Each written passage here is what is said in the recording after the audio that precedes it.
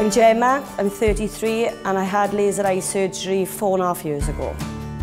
I started to think about having laser eye surgery when contact lenses weren't working out for me.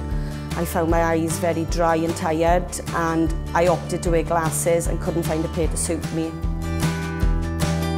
I chose Optical Express because I'd seen fantastic reviews online and I was astonished at the price.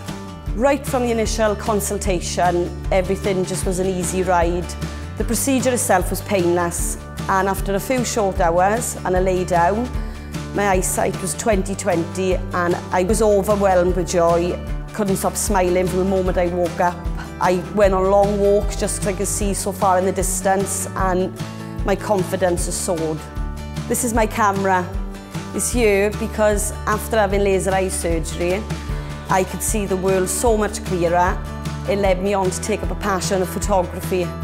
I literally take photos of everything. It started with family and friends, the dog, the cat.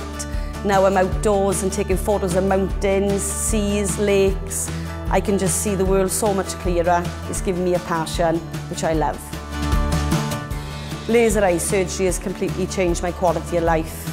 I'm more confident, outgoing. before having laser eye surgery, I don't think I realised just how beautiful the world was.